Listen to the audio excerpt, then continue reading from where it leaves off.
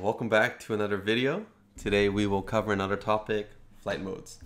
So discus launch gliders are a complex glider to set up and the reason is we expect the model to go through several very different flight conditions from high speed launches with minimal drag to slow, high lift floating conditions. In this video I'm going to talk about what the flight modes are, the five basic flight modes in a discus launch glider setup, what each flight mode achieves, and at the end of the video, I'll demonstrate how the flight modes look like when it's set up on my BAMF 2 glider, so remember to stick around to the end of the video. So what are flight modes? Flight modes are preset conditions for the glider to meet different flight objectives. For DLGs, the main difference between flight modes is the amount of drag and lift the wing produces, and this is mostly controlled by how much camber the wing carries. In a discus launch glider, there are five basic flight modes. The launch preset and zoom modes are part of your launch routine. Speed, cruise, and thermal are part of your regular flight modes for flying. Before we continue, if you find our videos useful and like our videos, please take a moment to give it a thumbs up and hit subscribe. This helps the YouTube algorithm recognize that this video is useful and relevant and that people like it, so in turn they will make it more visible to others who are interested in flying discus launch gliders or are searching for more information on DLGs. Thank you. Okay, so now that we know the five basic flight modes, what do they do? As I mentioned earlier, the launch phase uses two flight modes, the launch preset and zoom mode. Before I get into more detail, let's rewind a few years. Before radio programming was as powerful as now and gliders were not using such critical airfoils, we weren't using a zoom mode for DLGs. Usually, people were just using the launch preset and then using speed mode to double as the climbing phase. Now things have progressed, it's easier to set up a zoom mode now, so let's do that to get the maximum launch height we can. In this graphic, you'll see how the launch is broken down. The first flight mode we'll talk about is the launch preset. So it's used to pitch up the nose of the glider and it's turned off a split second after the glider leaves your hand. The reason we need a launch preset instead of just you know, launching it at a higher angle or trying to throw more up it's quite important. For one thing, most human bodies can pull laterally with much more force and speed than with an upward motion, so that means you can throw the plane harder. Secondly, throwing the glider at a high angle means the wingtip comes very close to the ground on the lower part of the swing plane, so that means it's very easy to hit the wingtip on the ground, or aka a tip strike. And thirdly, it's very easy to accidentally apply a twisting motion to the wingtip when you're trying to throw it at a high angle. So it's very easy to damage the wingtip, especially with you know current wingtips where it's very small and thin. Because of these reasons, it's recommended to throw at a lower angle and use the launch preset to help rotate your glider to the optimum climbing angle. I usually have zero camber on my launch preset, so it's just flush and a few millimeters of up elevator. If you're just starting out, you probably don't want a very aggressive rotations, so maybe just use a millimeter or two of up elevator so you get a nice shallow climb before you let go of the launch preset and it starts climbing up.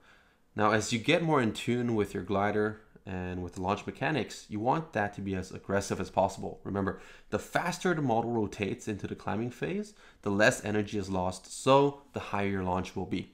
Now, okay, so once you let go of the launch preset, a split second after letting go of the glider, and the glider is at its near vertical vector, your radio should go into the second part of the launch sequence, so zoom.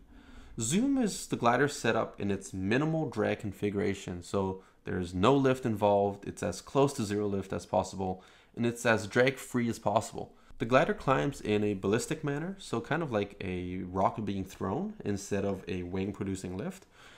And it's going to climb all the way up to the apex. Once you hit the apex, you push the plane over into your regular flight modes. The manufacturer will usually have a camber setting for you to follow to set up zoom mode. For an example, on the BAMF 2, zoom is 2 millimeters of reflex, so the flaperons come up 2 millimeters. And the elevator is trimmed so that it climbs as straight as possible. Now leave a comment down below, let me know if you're using a zoom mode.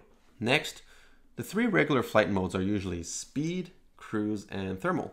So with speed mode, the purpose is getting the glider in its best glide ratio setting. Quite simply, this is the setting that allows the glider to go the furthest distance for the same amount of height. So when it's blowing and you're downwind and you're trying to come back to the field, you'll often be using speed mode. On BAMF 2 where we have molded the wing in the speed setting, you'll simply align the flaperons flush to the tabs. That's it. Next is cruise mode. And as the name suggests, it's an all-round setting for cruising around somewhere between speed and thermal mode. There's no hard rule of how much camber you should have in your wing. I usually have about two or three millimeters of camber. It's kind of what's comfortable for you. Usually I'm flying in cruise mode unless I'm way downwind trying to come home, which it means I'm in speed, or I'm trying to maximize my hang time, which would be in thermal mode. So lastly, thermal mode. This setting is used at the maximum camber for slow and high lift settings, so as floaty as possible. It's often used while in a thermal, so you get the best climb rate, or if conditions are very soft and you're just trying to float as long as possible. On the BAMF 2, I'm running 8 millimeters of camber in thermal mode, but keep in mind, the more camber you have set up, the more sensitive the plane becomes. So sometimes you might not want to use the full 8 millimeters of camber. This really comes down to your own personal preference. So some people have their thermal mode set up maybe 7 millimeters, 6 millimeters. You'll have to try to test that out. Hmm, so are these the only flight modes people use in DLGs? No. Sometimes pilots break down their flight modes in more detail. For example, they might have a fast cruise and slow cruise instead of a single cruise mode. Likewise, for thermal at let's say 8 millimeters, instead of using that, they have a thermal 1, maybe that's 6 millimeters for general thermal flying, and might have a thermal 2, which in this case, let's say 8 millimeters, which is a more specialized setting where the wing has more camber, it gives the absolute maximum amount of hang time, and you usually set that up with lots and lots and lots of careful flight testing in you know, still air, maybe in the early morning or in evening against a stopwatch. But this might be too sensitive to fly in regular conditions, so that's why they might have that on another thermal mode. And the last big one is a landing mode. Now, some people use it, I don't. Personally, my brakes on the flap stick, it's always active regardless of which flying mode I'm in. It's just one less thing for me to do when I'm coming in for a landing, makes it easier, faster. Another thing I do is I put a spring onto my flap stick on the gimbal. So as soon as I let go of the flap stick, it always comes back down to zero. And as you probably noticed, I push up for flaps and most people pull down for flaps. So some people set up landing mode on a physical switch, just like their other flight modes, and some people have their landing mode on the flap stick, and either through a digital switch on Spektrum or a logical switch on FrSky, Let's say you move your flap stick 5% and then it doesn't really move anything yet, but after the 5%, then it goes into landing mode automatically. And maybe you have some different aileron differential, etc. So that's a really, really good way of setting up flight mode. In fact, I'll probably end up doing something like that in the future, but I've been flying it this way for many years and I just haven't spent time on incorporating that into my setup yet. So let's see what all of this looks like. Now, I'm using the Spektrum IX20 and I'm using the Spektrum AR410 receiver in my BAMF 2. So on this radio, I moved the push button from here to over here so that I can use that as the launch preset. So basically I just hold down this button and then it's launch preset. I let go, it goes into zoom mode. You can probably see the camber over here. And three seconds later, it exits into whatever flying mode I'm in. In this case, it was speed. So speed, cruise, thermal. I press this, it's launch preset. I let go, it's in zoom. Three seconds later, it goes into whatever flight mode I was in. And I'll also demonstrate. So this is my flap stick. As soon as I let go, it goes back to center. So let's say in a quick turnaround situation, I'm coming in, I'm coming in. All right, I catch the model and I let go of the flap stick. I push the launch preset button. I let go of the plane.